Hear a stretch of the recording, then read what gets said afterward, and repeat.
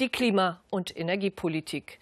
Es ist genau eine Woche her, da konnte Angela Merkel in Elmau auf dem G7-Gipfel ihren Ruf als Klimakanzlerin eindrucksvoll vor spektakulärer Kulisse und internationalem Publikum bekräftigen.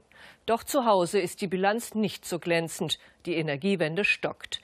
Gegen die Klimaabgabe für Kohlekraftwerke läuft die Kanzlerinnenpartei CDU Sturm, aber auch Gewerkschaften und SPD-Länder.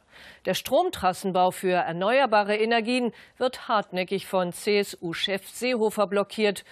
Gegenwind aus allen Richtungen, vor allem für einen Wirtschaftsminister Gabriel. Marion von Haaren. Die Traumfabrik von Elmau. Kanzlerin Merkel verspricht eine bessere, eine sauberere Welt. Eine Welt ohne Kohle, Öl und Gas. Eine Welt ohne weitere Klimasorgen. Wir wissen, dass wir dafür tiefe Einschnitte bei weltweiten Treibhausgasemissionen brauchen und haben uns deshalb äh, dazu bekannt, dass wir im Laufe dieses Jahrhunderts eine Dekarbonisierung der Weltwirtschaft brauchen. Doch in Merkels Klimaversprechen ist der Blitz geschlagen. Die Energiewende hat einen Kurzschluss. Dienstag blitzte Wirtschaftsminister Gabriel bei Kanzlerin Merkel mit seiner Kohleabgabe ab. Unser Vorschlag läuft darauf hinaus, dass alte, ineffiziente Braunkohlekraftwerke nicht etwa abgeschaltet, sondern weniger laufen sollen und dafür zum Beispiel moderne Steinkohlekraftwerke mhm. länger.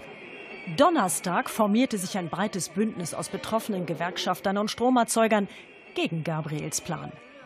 Ich glaube, die Klimaabgabe, das ist äh, äh, Stand äh, auch der, der Beratung, ist kein geeignetes Mittel, um diese Klimaziele zu erreichen ohne Strukturbrüche. Wir haben andere Vorschläge gemacht, die sind nicht teurer, sie sind aber besser.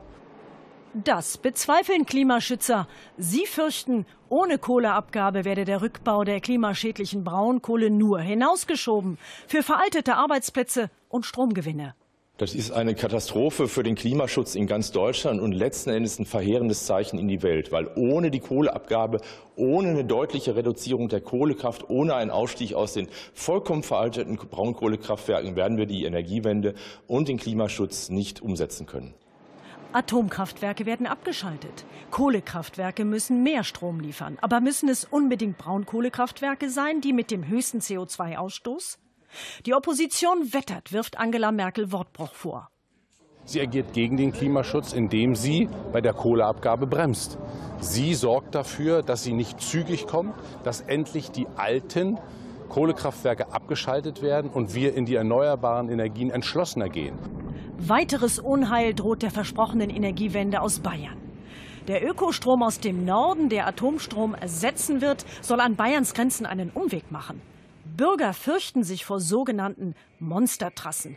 Und Ministerpräsident Seehofer setzt sich mal wieder an die Spitze des Protests und damit gegen Merkel. Der leuchtende Traum von einer besseren Welt, wie er beim G7-Gipfel in Elmau aufschien, er ist diese Woche in Berlin vorerst zerplatzt.